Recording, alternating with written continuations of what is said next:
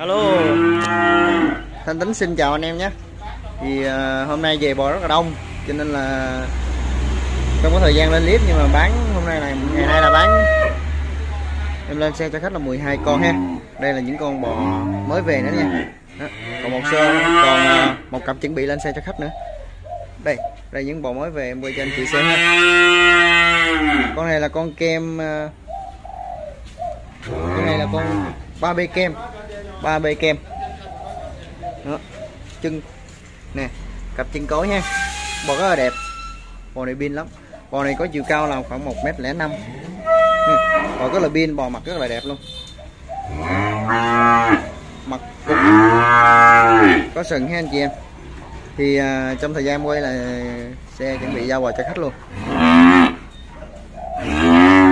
Đó, mặt cục ha thì con này có độ tuổi là khoảng 6 tháng nha những con này là 6 tháng rồi đó. Mới về anh chị em?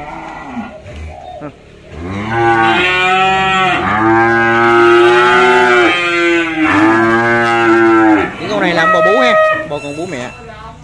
Đó. Đây rồi à, tiếp đây á, là con này thì chiều cao nó là một thước mốt. Con này thì à, nó 3B 3B nhưng mà nó là đầu chuỗi. Đầu chuỗi ha anh chị em? Xương móng rất là đẹp bò rất là pin. Anh chị em luôn lưng đít thì chẹp về đó. Bò đẹp lắm anh chị em ơi.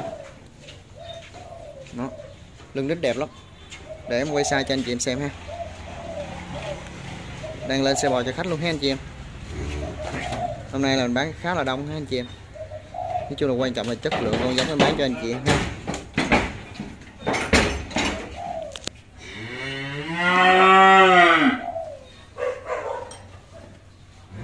Anh em nào mà có nhu cầu xài bò thì đến trại bò thân tính nhé địa chỉ của trại là ấp tư thành phú cầu kè, trà vinh. Đây, một cặp bò đẹp nè. Cặp bò này rất là đẹp ha. Pin ha, con này trời ơi mắt ý cái đầu luôn, đẹp, cực kỳ đẹp bò. Cái con kia này cái phân sao dính mặt luôn. Bò rất là pin nha. Bò này pin tới pin luôn vin lên xe cho khách nữa nè. Anh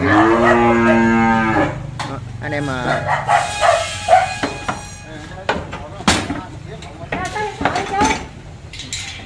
Đây. Đây con này là con ờ, uh, kem vàng ha. Con này có chiều cao là một thước mốt cứng độ tuổi con bò này khoảng 7 tháng rồi nha. Tại con này đã cắt sữa rồi. Bò này rất là pin. Đó. Nè.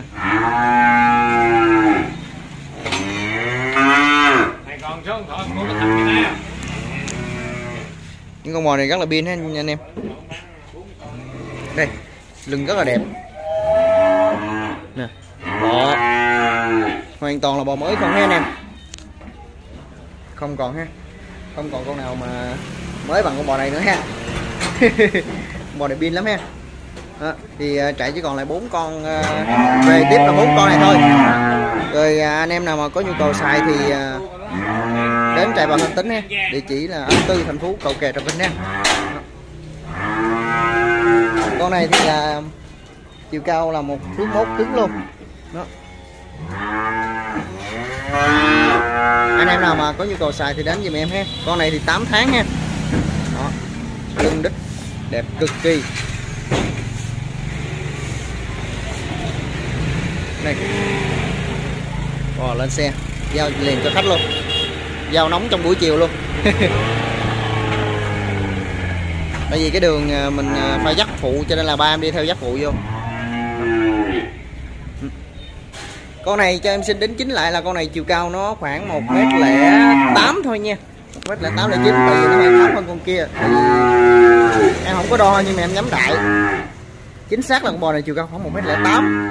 Đó con bò này rất là pin ha. Lực pin lực anh em có nhu cầu thì à, đến trại bò thanh tính giùm em ha.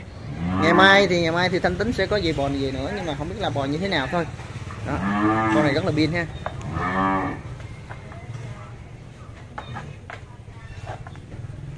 Ừ.